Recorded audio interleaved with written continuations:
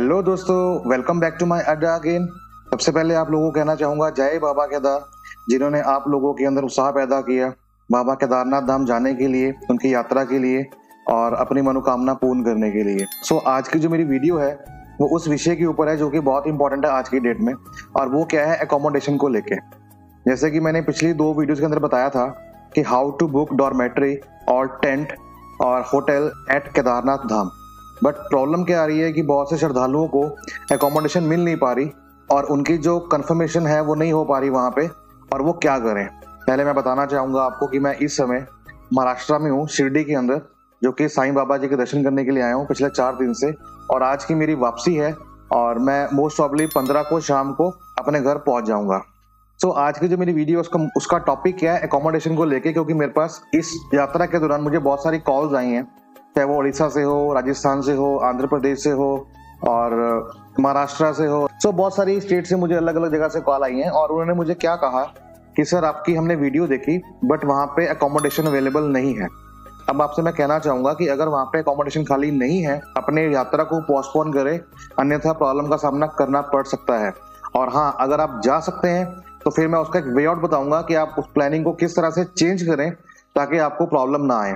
So video को and तक देखना मिस मत करना और अगर अच्छी लगे तो लाइक तो कर ही देना। और हाँ साथ में ऐसे ही वीडियोस के लिए मेरे चैनल को सब्सक्राइब भी कर लेना क्योंकि मुझे लगा कल कि मैं चार दिन से बाहर हूँ और जो श्रद्धालु हैं जो मेरे साथ जुड़े हुए हैं उनको बहुत दिक्कत आ रही है अकोमोडेशन को लेके। सो आज मॉर्निंग आवर्स के अंदर मैं उठा स्पेशली इसी वीडियो के लिए जो मैं आपके लिए आज मोस्ट प्रॉब्ली अपलोड कर दूँगा। चलिए स्टार्ट करते हैं आज की वीडियो सो so, जैसा कि मैंने आपको बताया कि टेंट कैसे बुक करना है जी पर जाके, जो कि केदारनाथ की वेबसाइट है, गढ़वाल मंडल की। दूसरा क्या है? यात्रा धाम डॉट ओ आर जी जहाँ पे हम वहाँ पे जो भी सराय हैं होटल्स हैं, धर्मशालाएँ हैं आश्रम हैं, वहाँ की हम लोग बुकिंग कर सकते हैं। लेकिन अगर फिर भी बुकिंग नहीं मिल पा रही तो हम क्या करें? जाना तो है बाबा जी के पास। अब जाना है तो हमारे लिए वे आउट क्या है? बेस्ट प्लान बताऊँगा आपको। आपको वैसे ही करना है, अगर वैसे ही करेंगे तो आप एक दिन में जाके ऊपर नीचे आ जाएँगे। तो सबसे पहले बात करते हैं हम लोग पिट्ठुओं की।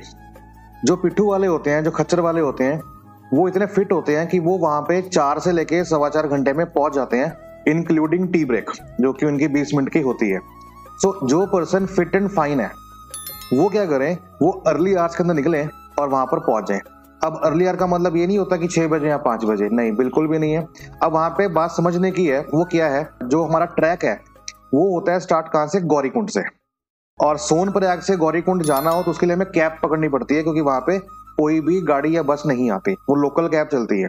और रश इतना हो रहा है वहाँ पे कि अगर आप कैब की वेट करेंगे वहाँ पे तो आपको तकरीबन दो, तीन, चार घंटे भी यहाँ पे लग सकते हैं कैब से गौरीकुंड पहुँचने के लिए।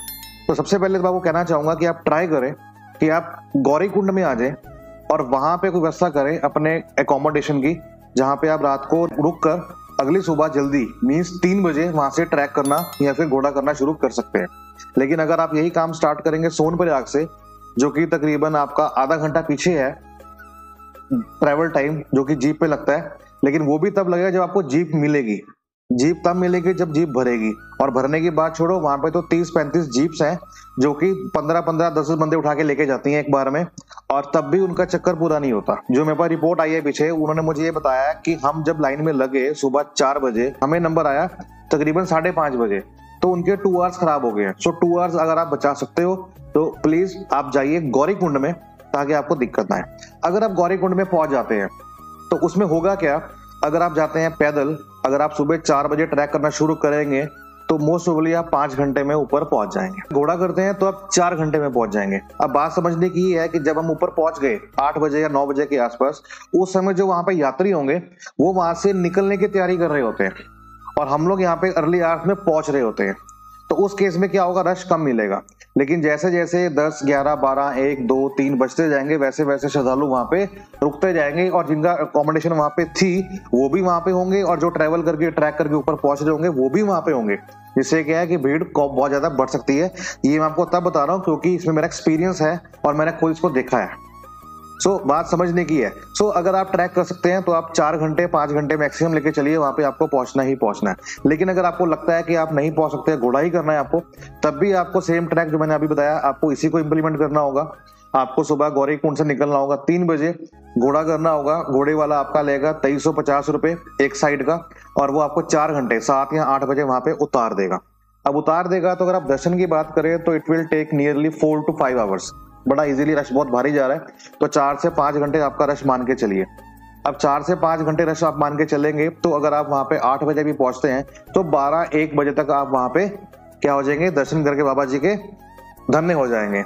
अब उसके बाद आप प्लान करें, नीचे आने का, चाहे वो आप पैदल आए ट्रैक करके, चाहे वो आप घोड़े से आए इट्स अप टू यू लेकिन वहाँ पे होगा क्या, अगर आप वहाँ पे नहीं रह रहे और अकोमोडेशन आपको नहीं मिल रही तो उसका बेनिफिट क्या है आपको? यही होगा, एक तो आपका पैसा बचेगा और दूसरा माई डियर ध्यान रखना, वहाँ पे खाने की व्यवस्था बिल्कुल भी नहीं है। हमने देखा है श्राइन बोर्ड में अमरनाथ जी में वहाँ पे भंडारे चलते हैं, एक से एक बढ़िया। आता है वैष्णो देवी श्राइन बोर्ड के अंदर भंडारे चलते हैं, एक से एक बढ़िया। बात पैसे की नहीं है, बात खाने की है। वहाँ पे जो क्वालिटी मिलेगी खाने की, आपको बिल्कुल थर्ड क्लास क्वालिटी है, ना मसाला है, ना वेजिटेबल्स है। मैगी भी आपको मिलती है, बारह रुपए वाला पैकेट कितने का पचास रुपए में, जिसके अंदर वो सिंगल एक पत्ता भी डालते नहीं धनिए का। ना कोई मसाला नहीं, जो कंपनी से बन के आता है, बस वही पानी में बॉईल करके आपको दे देंगे। चाय का कप वहाँ पे तीस रुपए का है कॉफ़ी कप आपका पचास रुपए का है। और कप कितना होता है? जो चलता है स्टेशन में, उससे भी आधा। मीन्स अप्रोक्सीमेटली डेढ़ इंच कप इन हाइट आप समझ सकते हो कितनी महँगाई है। और वहाँ तेल सब बंदा होता है, पानी की बोतल वहाँ पे पचास रुपए की है। अगर आप वहाँ प्लान कर रहे हैं कि वहाँ रुकने की कमरा मिल जाए तो एक तो कमरा बहुत महँगा मिलेगा। दूसरा, मैं बता रहा हूँ आपको कि आप शिकार हो सकते हैं कॉन्स्टिपेशन के डिहाइड्रेशन के, क्योंकि वहाँ पे पानी की कमी हो जाती है, वहाँ पे आप प्रॉपर खा नहीं पा पाते। प्रॉपर खा नहीं पाते तो हर तरह की समस्याएँ वहाँ पे हैं तो आप अवॉइड करें इन चीज़ों को और ट्राई करें नीचे आने की। सो ये मैंने आपको वे आउट बताना था कि जिनकी यात्रा अगले हफ़्ते में आने वाली है 19 से लेके 25 के बीच में, और कमरा उनको नहीं मिल पा रहा तो उनके लिए बेस्ट ऑप्शन यही है कि सुबह अर्ली आवर्स के अंदर निकले गौरी कुंड से, चाहे वो घोड़ा करें, वो चाहे चाहे ट्रैक करें और शाम तक वापस आ जाए। क्योंकि जब वापसी में आएँगे तो वहाँ पे भीम बाली पड़ता है, वहाँ पे गौरीकुंड पड़ता है, वहाँ पे सीतापुर पड़ता है, वहाँ पे सोनप्रयाग पड़ता है। यहाँ पे आपको अकोमोडेशन मिल जाएगी, लेकिन अगर हम वही अकोमोडेशन बात करें केदारनाथ धाम की तो वो मैनी फोल्ड मल्टीप्लाई करो, उस अमाउंट का तो बहुत ज़्यादा हो जाता है। मीन्स की जो रूम आपका चार हज़ार रुपए का है, वही आपको मिल रहा है सोलह सोलह, सतारह सतारह हज़ार रुपए का। और यकीन मानो कि वो रूम कोई ऐसा नहीं होगा कि आप सोचेंगे वो सेवन स्टार होगा बिल्कुल भी नहीं है। एक सिंपल सा बताऊँ आपको कि कोई धर्मशाला होती है ना जो लेता है हम जैसे हम जाते हैं किसी आ, कहीं पर्टिकुलर जगह पे स्टे करने के लिए टेम्परेरी जैसे कॉलेज स्टूडेंट्स जाते हैं तो वो क्या करते हैं कि किसी धर्मशाला में ठहर गए वहाँ पे पचास सौ रुपए दिए वहाँ पे ग्रुप का ग्रुप बैठा हुआ है तो जस्ट वैसा ही है। आपको कोई वहाँ पे कुछ नहीं मिलना सुविधाएँ। सुविधाएँ के नाम पर वो ज़ीरो है लेकिन पैसे के नाम पे आपका वो सेवन स्टार से भी ऊपर है। तो इस बात का आप ध्यान देना और ट्रैकिंग पे ही ज़ोर देना या घोड़े पे ही ज़ोर देना अगर हेलीकॉप्टर भी नहीं होता है आपको। तो ये मेरा एक बेस्ट वे आउट है आप लेके के लिए, जो मैंने आपको प्लानिंग करके बताया आप इससे चलेंगे तो यकीनन आप नीचे टाइमली आ जाएँगे और अपना पैसा ही नहीं, अपने जो शरीर के कष्ट हैं, वो भी आप बचा लेंगे। सो ऐसी ही वीडियोस के लिए मेरे साथ बने रहे मेरे इस अड्डा पर, मुकुल स्किल्स अड्डा पर। तब तक के लिए जय बाबा केदार।